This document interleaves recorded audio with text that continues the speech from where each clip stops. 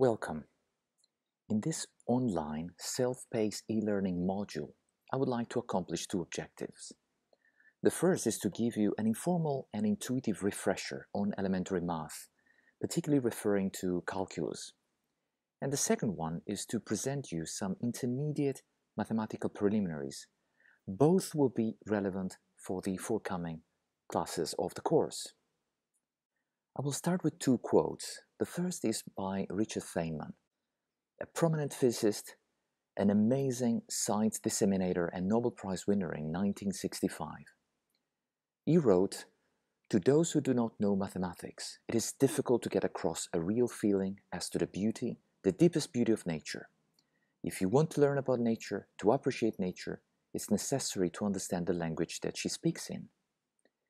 And then another favorite quote that I would like to share with you is by Albert Einstein, who doesn't need any introduction, who has been amazed by the fact that math and nature are fitting uh, together. How can it be that mathematics, being after all a product of human thought, independent of experience, is so admirably adapted to the objects of reality? At the same time, I would like to use the words of a prominent biologist, Edward Wilson, considered the father of biodiversity and sociobiology, warning that no strong mathematical skills might be needed. He says, During my decades of teaching biology at Harvard, I watched sadly as bright undergraduates turned away from the possibility of a scientific career, fearing that, without strong math skills, they would fail. And I agree with him that this mistaken assumption has deprived science of an immeasurable amount of sorely needed talent. What I would like to present is in the spirit of what is minimally required for computational neuroscience. In the bottom part of this slide, you see a picture of Andrew Huxley, Nobel Prize winner together with Hodgkin in 1963 for their work in dissecting the excitability of nerve cells. He was a British electrophysiologist, and you hmm. see it on the left in a photo depicting him with a microscope, which is a tool for biological investigation. But at the same time, he did not use only the microscope. He also used what you see on the right, which is a mechanical calculator. Let me give you the menu for this first part of the elementary math refresher. I will briefly mention and, and uh, explain again the concept of function of one variable. And then I will immediately move to a more intuitive understanding of a function by the meaning of the graph or the plot of a function. And I hope that I will manage to successfully offer not an in-depth mathematical description, but rather an intuitive and hands-on uh, insight on what happens to the graph and therefore to a function when you perform elementary operation such as adding or multiplying constant factors to a function. And I will conclude this part reviewing the concept of a constant function or a straight line or an exponential or a logarithm. These are all the functions that we are likely to see extensively during the classes. I would also like to invite you to put your hands on and to try to play with the math. And there are two possibilities actually. The first is to point your web browser to the address here indicated in this slide below.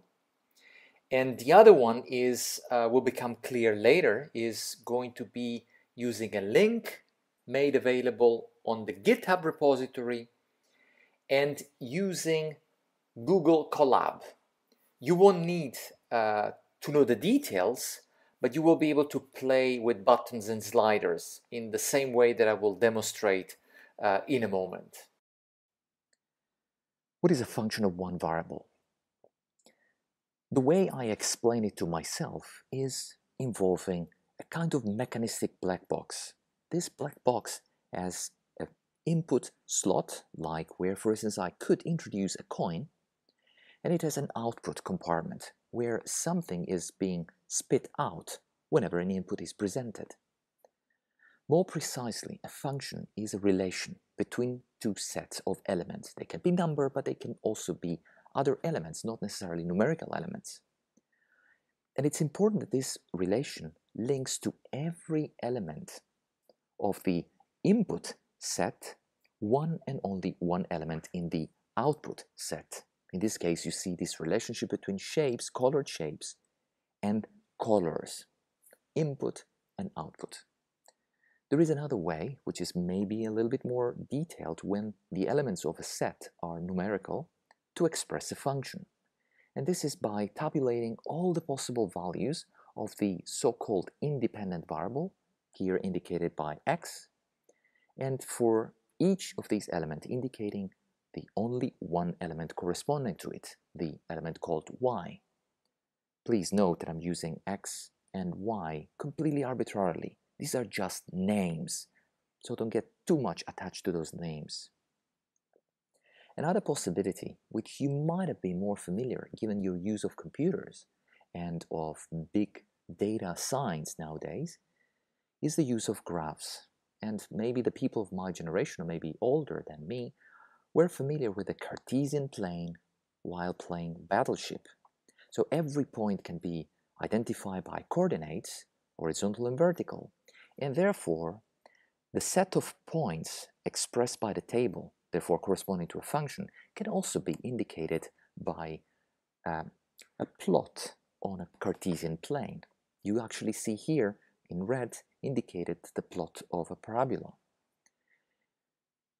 Then there is also a final way to express a function, which may or may not be possible to, to do that in a concise way, using mathematical symbols, operations, and expressions. Combine them together and composed uh, together. A biologically relevant example of a function is depicted here.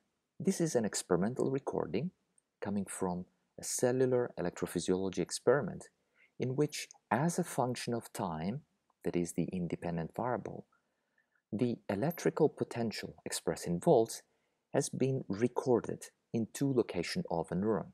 You actually see in gray or in black how the voltage of this cell is changing in time. It goes up and down, and this transient that you see here, it's called the nerve impulse. And we will have ample chances to discuss about this during the course. I used the word independent variable a moment ago to distinguish from dependent variables. What I mean with variables is like the concept of a bucket, and I hope that you are convinced that a bucket is just a container, so I can maybe change the name or the shape of the container. It doesn't really matter. I would like to use the word variables as opposed to constant factors which are known. Usually, independent variables are not known or are assigned and dependent variables are depending on the numerical values of the independent variable. So f of x precisely makes explicit that once x is chosen independently, then y is depending on its value. Let me go to the concept of the graph of a function. And to do this, I will use the website that I indicated a moment ago in order to plot a generic function, this one that I uh, displayed here, where I combined operations like addition, subtraction, square root, power, and ultimately this and, and gives rise to the following plot. So this particular function that you see here has been plot using the website. And you see that, that to every specific value of the x, it exists only one value of the y. This has been depicted, depicted by the set of uh, points, blue, that are giving the impression of a continuity. This is the website that I was talking about, and you actually see the expression that I placed, and I would like to invite you, using this or the other website that I described earlier, to actually play, to look what happens if you actually start changing numbers. So what happens if here, I, instead of plus 1, I put plus 10? Or how the plot changes if I add a minus in front of uh, the expression. Please give it a try so that you are not remembering things by heart, but rather you are exploring actively what elementary operations and what is the consequence of the graph of changing values and numbers or operations. I would like you to consider the consequences on the graph of a function of very elementary operations, and these are depicted here.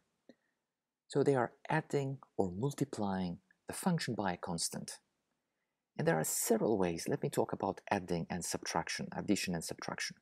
You actually see here that you can add something in a way outside, forgive me for these abstract terms, the function, or the number that you're adding can be inside the argument. So it can be on the independent variable. So you're basically replacing x to x plus 6, whatever it occurs in a mathematical expression. Of course, given the graph of a function like the one that I showed you a moment ago, you could go ahead and replace, like in a word processor document, doing search and replace, wherever you find x, you replace x plus 6, or at the end of the expression you may subtract 1, like indicated here. But I would like you to develop an intuition, very simple intuition, on what are these operations corresponding.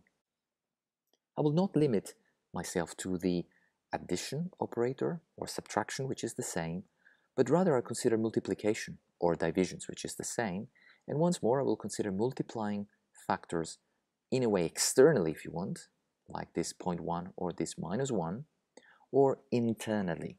Once more, forgive me for this incorrect and wrong abstract expression, just to mean that I will put the factor, in this case it's minus 1, in this case it's 2, inside the argument, so just replacing the independent variable.